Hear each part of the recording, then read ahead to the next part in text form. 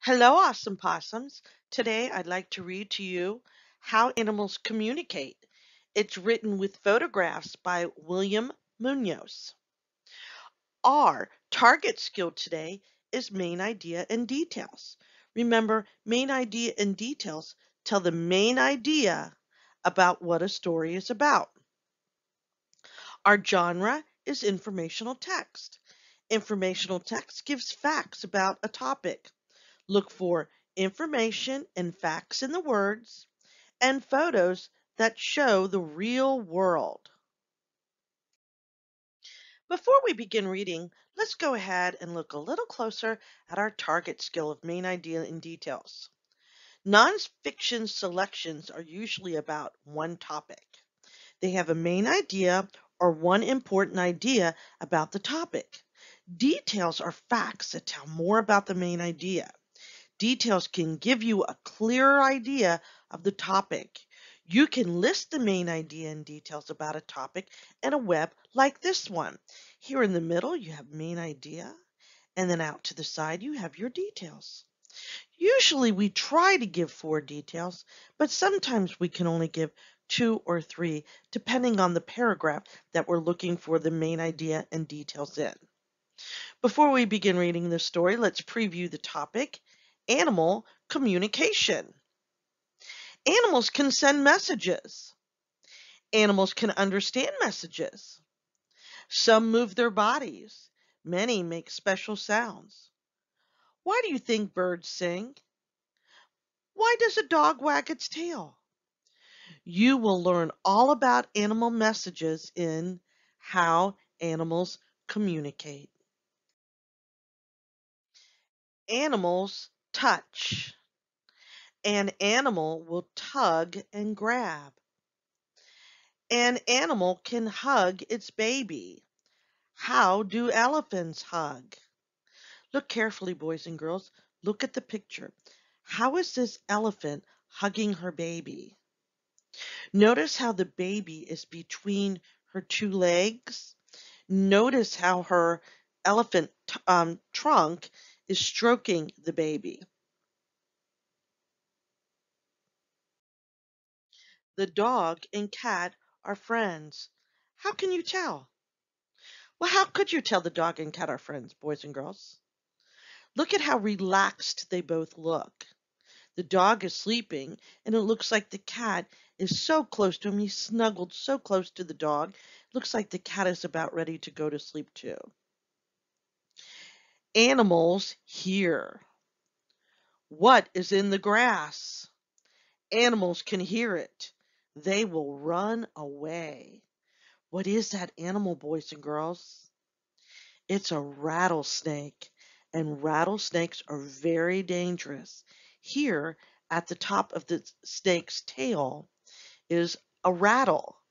And when the snake feels threatened, it'll start shaking its tail and the rattle inside. Other animals hear it and they run. A bird will sing, Here I am. A wolf will call to its pack, Here I am. Animals see. Why will a dog press its legs down? It will let dogs see I can play. Some bees buzz and dance if they find food. Animals smell. A mom can tell the smell of its baby. Do you see the giraffe smelling her baby? An animal can have a bad smell. It will make animals run away from it. Well, there's a skunk and there's a deer. And I would hope the deer is going to run away from the skunk, or the deer is going to end up smelling pretty bad. Touch, see, hear, smell. Tell what the mom can do. Can the mom see her baby? Mm-hmm. Can she smell her baby? Absolutely. Can she touch her baby? Yes. Look how she's touching her baby. Let's take a deeper dive into our target skill of main idea and details. The topic is the one big idea that a selection is about. The main idea is the most important idea about the topic. Look back at the four parts of how animals communicate touch, see, hear, and smell. What is the main idea? Details are the facts about the main idea. What details do you learn? Use a web to show the main idea and the details. I went ahead and made our own graph over here with the main idea here and then four circles for the details. Let's take the first topic of touch. Over here, animals touch. What detail did we learn from the animal's touch? An animal will tug and grab. And look what I put in the circle over here. They tug and grab. Now we'll look at the topic of see. Some bees will buzz and dance if they find food. Well, they find food because they see it, correct, boys and girls? So what did we learn about see?